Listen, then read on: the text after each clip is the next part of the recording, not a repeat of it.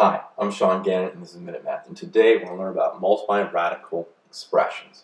So if I was given this expression, 5 minus 4 square root of 5 times negative 2 plus square root of 5. So what I want to do is take all parts of my first parenthesis multiply by all parts of my second parenthesis. So let's do that. 5 times a minus 2 is a minus 10. 5 times the square root of 5 is just 5 square root of 5. Minus 4 square root of 5 times the minus 2. Two negatives make a positive, so we have a positive. 2 times 4, or 4 times 2 is 8. Square root of 5 here. And then minus 4 times the uh, square root of 5 times the square root of 5 is just a minus 4 square root of 5 times 5. We can combine the square roots into 1. All right, 1 big square root, multiplication, and the 4 is just on the outside. So now we can simplify a little bit. We have a negative 10 is right there. Uh, but now we both have square roots of 5s right there, so we can combine these two, look at the numbers out front. 5 plus 8 is a uh, 13, so we have 13 square root of 5 here.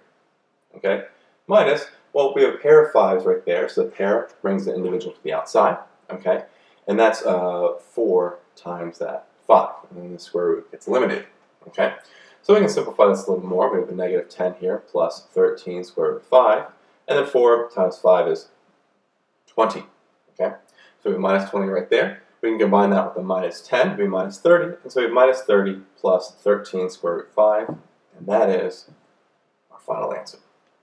So let's recap. We're given 5 minus 4 square root of 5 times negative 2 plus the square root of 5.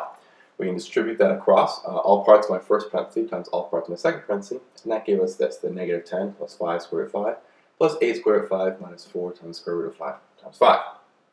Simplified that, combine these two to get 13 square root 5, and this pair here brought the 4 times, uh, brought the 5 outside to have it just as 4 times 5. 4 times 5 was 20, then we combined, or then we have the minus 20 here and the minus 10 to combine together to give us our final answer of a minus 30 plus 13 square root